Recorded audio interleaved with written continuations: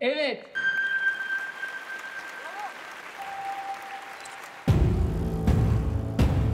Bu kafamın içindeki sesler bazen o kadar çok konuşuyor ki kendimi duymuyorum ben.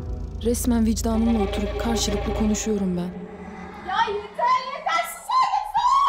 Ulan memleket benim gibilerle dolu. Biraz haber izleyin haber. Nasıl insanlarsınız lan siz? Biz öyle insanlarız işte.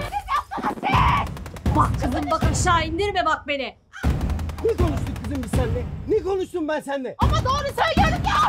Koskoca Allah'ın işi gücü yok seninle uğraşacak öyle mi? Ben bugün bu evden kaçıp gittiysem senin yüzünden. Ablamın şu an bir mezarı bile yoksa o da senin yüzünden.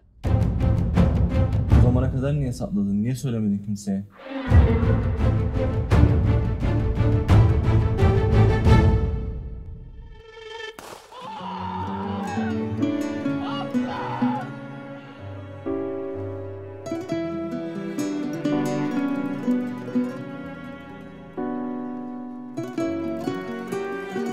Ülkede kadın ikinci cinsiyet değildir.